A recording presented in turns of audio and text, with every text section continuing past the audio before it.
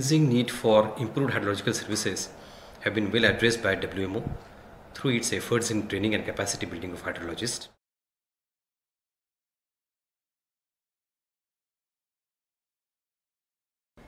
The Global Hydrometry Support Facility, also called the WMO Hydro Hub, aims at expanding and sustaining the base of water data by improving hydrological monitoring systems in the world.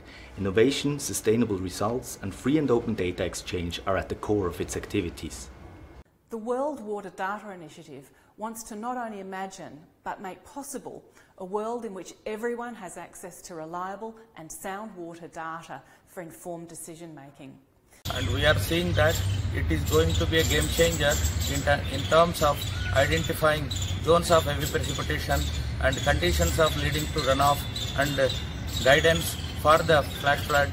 The WMO Global Hydrological Status and Outlook System, also called HydroSOS, uses available water data to develop products and services that provide information on the current hydrological status, on where the status is significantly different from normal, and where this is likely to get worse over coming weeks and months. The collaboration with the WMO, in particular the help desk for flood management, the help desk for drought management has become absolutely indispensable for countries as they're planning their adaptation, as they're planning the projects on the ground. Strengthening the participation of hydrological expertise is key to realizing the benefits and outcomes of society's water resource management challenges.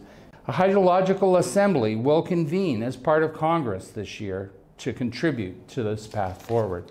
This is clearly an, an opportunity now for WMO and to raise its ambition in supporting the world's water agenda. This will be the critical decision for Congress to weigh.